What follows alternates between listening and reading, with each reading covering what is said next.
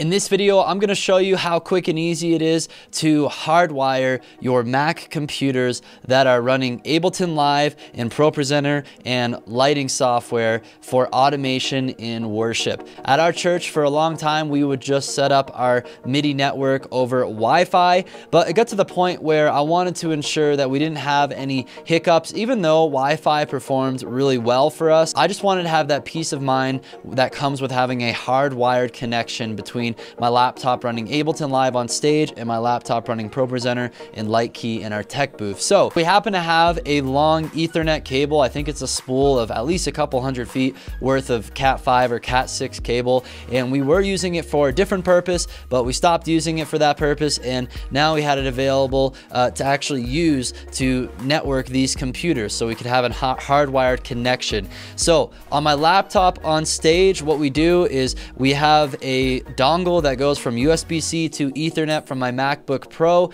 and then that Ethernet cable goes all the way back to our tech booth uh, into the dongle. There's so many dongles with these Macs into the dongle for the Mac running ProPresenter and Lightkey. And when it comes to the hardware portion of this setup, that's it. You just need to have that cable going from one laptop to another and have the appropriate uh, dongles and adapters to, to make that connection possible. If you needed to connect multiple computers, you could use an Ethernet hub. We do have one of those. We're not really utilizing it for anything yet, but we may uh, do that if we want to add more computers to this automation system.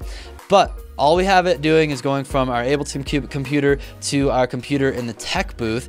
And what we do on both of these computers, which I have up and running right now for you to see what's going on, what I do is I turn the Wi-Fi off on these computers. We don't need any internet connections or anything like that on these computers. There's no reason this wouldn't work if you had internet supplied to your hardwired ethernet network. The internet aspect of it would work fine. But for us, we're just creating a local area network that doesn't require any internet. So I turn Wi-Fi off on both computers, um, and then you can go into your uh, Wi-Fi preferences here, your network preferences on your Mac, and just make sure that it's selected uh, on the the LAN uh, Ethernet port here. Um, it's going to say self-assigned IP. I think this is because we don't have any internet going to this. It's really just going from computer to computer.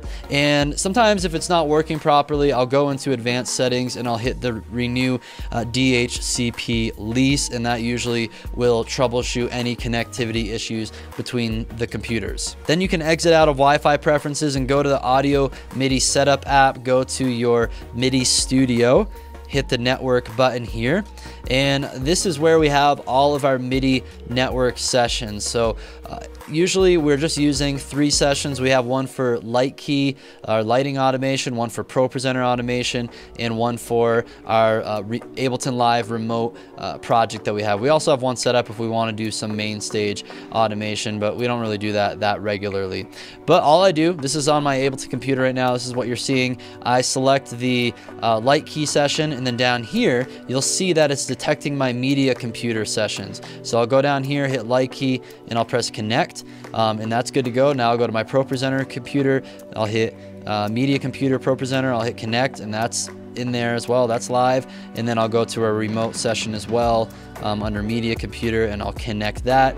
And now that is also a participant. So now these computers are talking to each other over the hardwired ethernet connection. It's super reliable. Obviously there's no latency at all. It's pretty much just instant and it's been working really, really well uh, for our situation. Sometimes I've found that with especially the wireless network uh, sessions, the, the Mac Audio MIDI Setup app can kind of glitch once in a while. It's never done it to us in the middle of a service, but we've had it happen like during rehearsal. So that was part of the reason why I wanted to switch to this setup.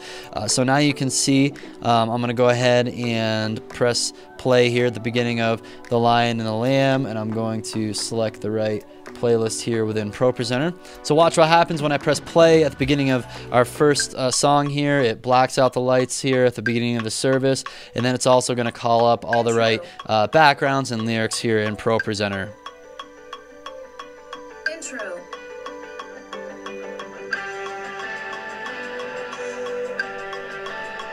So you get the point. I've shared with you guys a lot of videos on my Ableton Live setup and we'll link some videos here so you can get to those and check out what this actually looks like within a worship service. But setting this up with a hardwired ethernet connection is really simple and it will just increase the reliability that you have on your automation rig. If you wanna learn how to use Ableton Live in your worship ministry, then check out my free Ableton Live Masterclass. It's gonna walk you through my whole seven step process for uh, running a click and tracks with Ableton, as well as automating lyrics and lighting and more with Ableton Live, which I believe is the best software uh, for running tracks in worship. So just click the link in the description of this video to learn more. Thanks so much for watching. If you found this video helpful, hit that like button and share it with your friends in ministry. You can check out some related videos right over here. And don't forget to subscribe to the Churchfront channel so you don't miss out on any of our latest content to help you grow yourself and grow your worship ministry.